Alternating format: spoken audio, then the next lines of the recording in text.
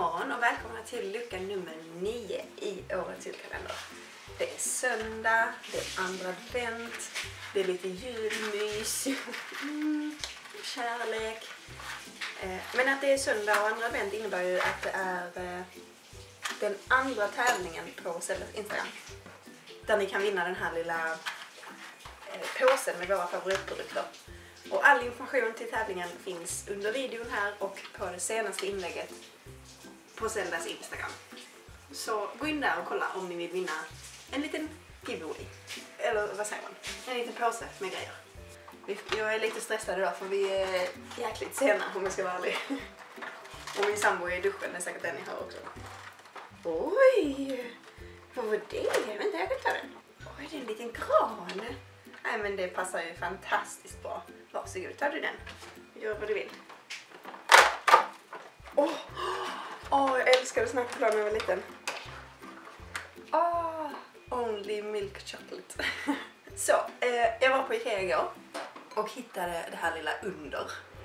Eh, det är en gran. eller en en. Hur som helst, den eller hen eller vad som helst eh, behöver ett namn. Jag tänkte att ni kanske kan döpa den i kommentarsfältet. Den har två, två toppar så den är väl lite tve, tve allt möjligt men det är väl ingenting. Eh, jag tänkte att vi ska klä den. Här har jag lite såna här pyttesmå julkulor. Och sen så har jag då de här korgisarna som jag visade igår som ska hänga i den lite sen så. Eh, och i övrigt så tänkte jag prata om eh, några saker som har varit väldigt svåra att lära min hund. Oj, det här var svårare än jag trodde. Så att, och det är inte för att säga att hon är dålig eller osmart på något vis utan det är mer att jag tycker det är lite intressant att se liksom vad det är som är svårt med henne och kanske också varför det är svårt. Och det är ju samma som vi pratade om häromdagen med mina brister att när man kommer fram till det så kan man ju förändra situationen eller i alla fall försöka. Du, vi äter inte julkulorna. så att det är mest att jag tycker det är intressant, absolut inget sätt att klanka ner på henne. Och så, här, vad fint det blir. Den första grejen som har varit väldigt svår eh, kom fram, eller uppenbarade sig eller vad man säger, när vi gick på en kurs. Jag vet inte om det var en nosework-kurs eller vad det var. Men det handlar i alla fall om att hon skulle aktivera sig med, med näsan. Eh, och då så sa kursledaren till mig att jag skulle stå helt stilla och att Zelda själv skulle Alltså när hon uppmärksammade rätt burk då med olika dofter i sådär, då skulle jag belöna henne.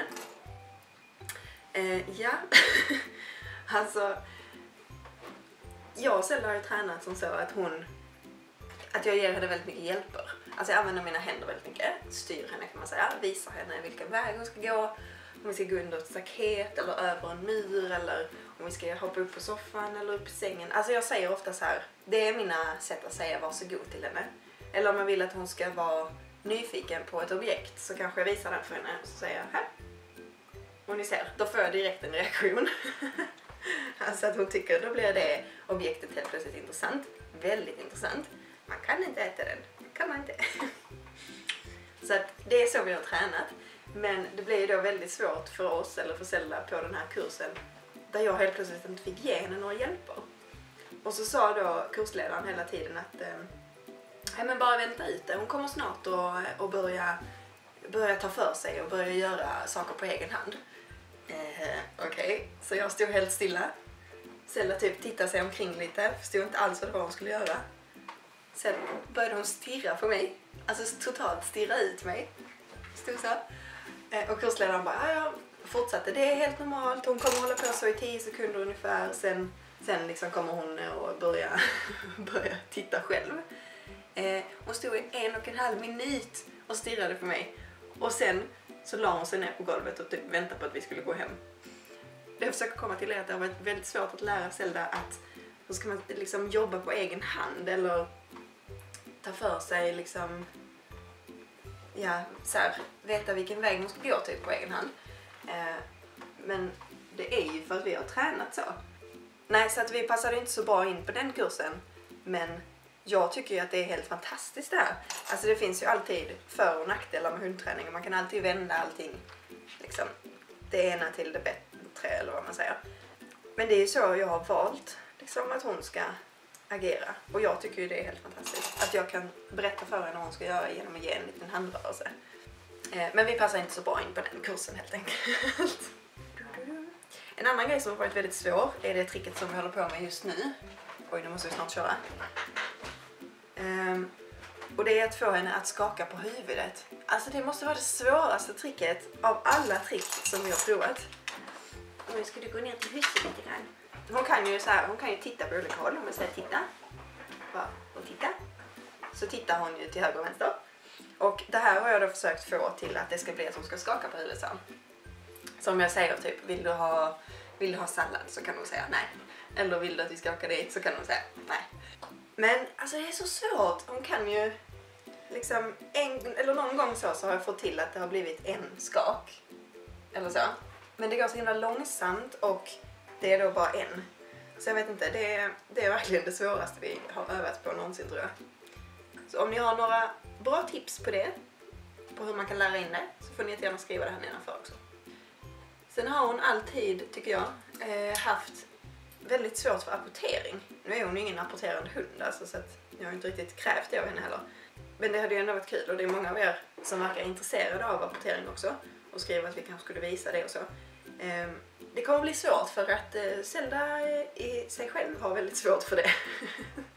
det är svårt att lära ut någonting som man inte själv har liksom, speciellt bra koll på. Oj då, hoppsan! Slog du i huvudet gumman? Gjorde du det?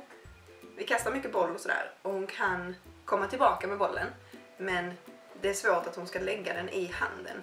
Det går om jag har handen väldigt väl och lyckligt placerad precis under hennes mun samtidigt som jag säger loss.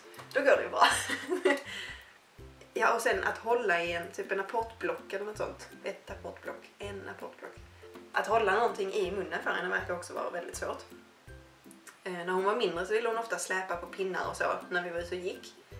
Eh, och hon bar sitt koppel och grejer men alltså nu kan jag inte få henne, jag kan inte få henne till att hålla ett, liksom, någonting alls. Det, hon bara gapar och trillar ut. Men det har ni säkert massa tips på också. Och jag tänker mig att om jag verkligen hade satt mig ner och försökt lösa det här så hade det säkert gått bra. Alltså jag tror ju att man kan lära henne i princip vad som helst. Man ska ha klart för sig att det är ju väldigt Alltså det är ju inte troligt att det är hos henne det felar, utan, eller felar, hos henne själva svårigheten är, utan det är att jag inte har lagt ner tillräckligt mycket tid på det helt enkelt. Men jag tycker ändå det är intressant att se lite vad det är man har svårt för. Och speciellt det här då med att hon, eh, att hon inte vill jobba så mycket på egen hand. Så jag tycker ju det är helt fantastiskt att ha en hund som vill ta del av det jag säger och det jag tycker. Och om jag då tycker att vi ska gå till höger så, ja okej, okay, då går hon också till höger. Alltså det kan väl inte bli bättre än så. så att eh, det är jag väldigt lycklig över. Och eh, även om det då räknas som en svårighet för henne eller på något vis att vi har tränat bort hennes, hennes uppfinningsförmåga eller hennes fria vilja så är vi ju ett fantastiskt team. Det är ju jättekul. Så att det finns ju alltid positiva och negativa grejer inom all hundträning tycker jag. Eh, och det är ju bara att hitta liksom man har en negativ grej så försök att ta den och se om den kanske inte är positiv ändå. för, för det här teamet liksom. Eller för ert team. Alltså, för att man kan ju inte bara hålla på och lyssna vad alla andra säger hela tiden och vad de tycker. Åh, oh, nu blev det sånt positivt här på slutet. och den fina granen, han är ju, eller hon eller en eller den eller, är ju jättefin. Eh, döp den i kommentarerna och eh, skriv gärna lite tips till mig till de här grejerna som vi har lite svårt för. Glöm inte tävlingen på Zeldas Instagram. Den varar ju nu fram till lördag. Så ni har hela veckan på er att vinna den här påsen. Vi ses imorgon igen. Ha det så bra. Puss, hej! Kan du vinka gumman eller du är helt eh, sovig? Ja, okej. Okay. Hon vinkar imorgon. Puss puss!